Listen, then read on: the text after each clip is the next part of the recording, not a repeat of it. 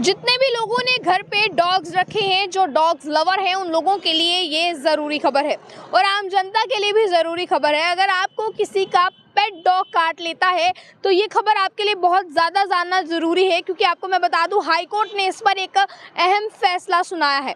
आपको बता दें देश भर देश भर में कुत्तों के काटे जाने की संख्या जो है, वो घटनाएँ लगातार बढ़ती जा रही हैं, जिस पर पंजाब और हरियाणा हाई कोर्ट ने एक बड़ा फैसला सुनाया है। इस फैसले में ये कहा गया है कि हाईकोर्ट के मुताबिक, अगर कुत्ते के काटे जाने की घटनाओं से पीड़ित जो है, वो पीड़ित को जो है, वो मुआवजा देना होगा, वो मुआवजा होगा बीस हज़ार रुपये का। यानी कि जिन भी लोगों ने घर में पेट्स रखे हैं। अगर आपका पेट किसी को काट लेता है तो हाई कोर्ट के मुताबिक अब आपको उसे बीस हज़ार रुपये तक मुआवजा जो है, वो देना होगा। जिसके बाद मैं आपको बता दूँ, ये भी किया, कहा गया है कि डॉग बाइट के मामले में कुत्ते का हर एक दांत के निशान पर जो पीड़िता होगा। पीड़ित को आपको दस हज़ार रुपये तक जो है वो हरजाना देना होगा।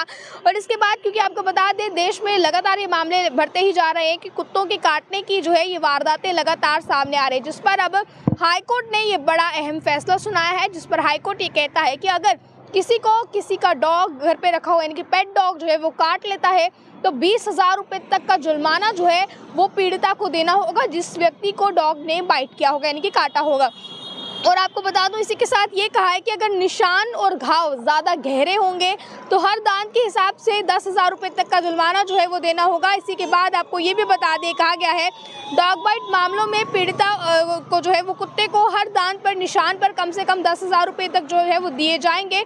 और कुत्ते के काटे जाने से जो त्वचा में घाव होंगे या फिर मांस निकलेगा तो इसके हिसाब से भी बीस हज़ार रुपये तक का मुआवजा जो है वो दिया जाएगा, क्योंकि ये फैसला इसलिए लिया गया है कि लगातार डॉग बाइट्स के मामले जो हैं वो सामने आ रहे थे और कई बार ऐसा भी देखा गया है कि जो लोग घर में डॉग्स रखते हैं, वो उन्हें प्रॉपर तरीके से इंजेक्शन्स नहीं लगवाते हैं, जिसकी वजह से प्रॉब्लम जो है वो उनको तो आती है जिन्होंने घर पे रखा होता है, पर उन लोगों को भी आती है जब वो बाहर उसे सैर करवाने ले जाएँगे तो बाहर वहाँ आसपास चल रहे लोगों को भी इसके चलते जो है वो प्रॉब्लम आएगी।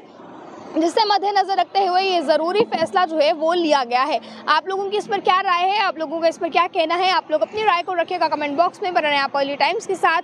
मुझे और कैमरा पर्सन गुलशन को दीजिए इजाज़त। जय हिंद।